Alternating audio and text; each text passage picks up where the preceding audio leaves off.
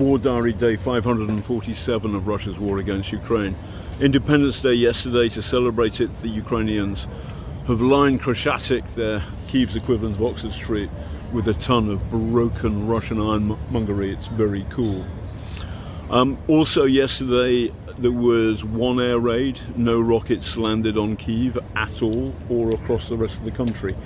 So it looks as though the the terror campaign by the Russians, which um, was very hot, hot, for example, just a couple of months ago in May, is is not working anything like as well as it used to do, in particular against the capital Kiev, the outlying towns like Chernihiv the other day, uh, closer to the Russian border, they're much more vulnerable.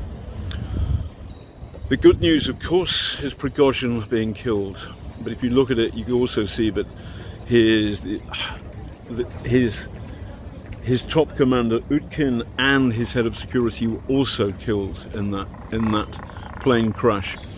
I absolutely believe that Putin is responsible. If you doubt me, read my book, Killer in the Kremlin, which sets out the evidence that Vladimir Putin is a serial killer.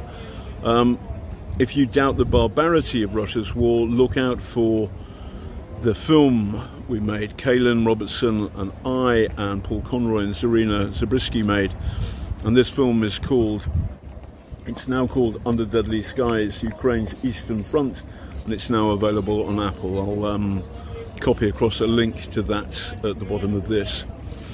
The big picture in the war I think is that Ukraine is doing better than a lot of people in the West um, have been giving it credit for.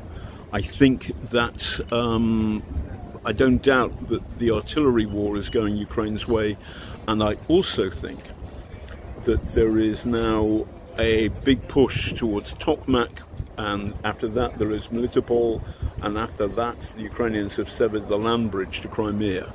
And that, if Russia loses Crimea, is big potatoes. Vladimir Putin, do fuck off.